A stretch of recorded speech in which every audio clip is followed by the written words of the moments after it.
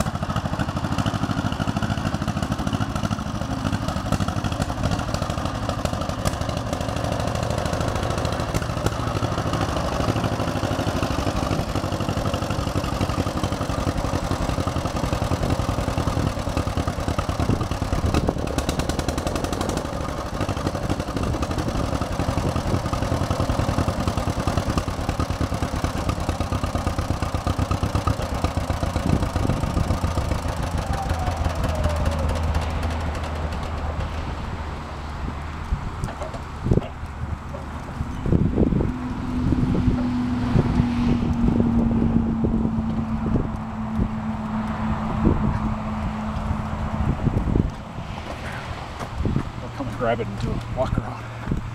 Thanks.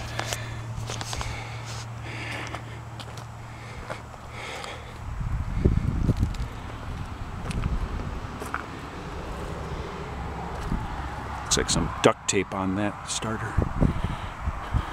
Can see the telescopic steering wheel. I forgot to tighten that up and the steering wheel is average shape. And can see a little oil around the rear end down there.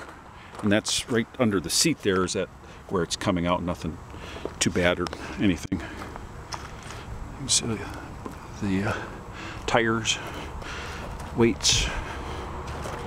And uh, I'll take a picture of that oil pressure gauge here with it running in a little while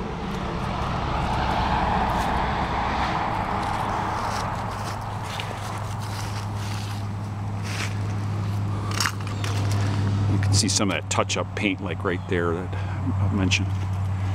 Okay.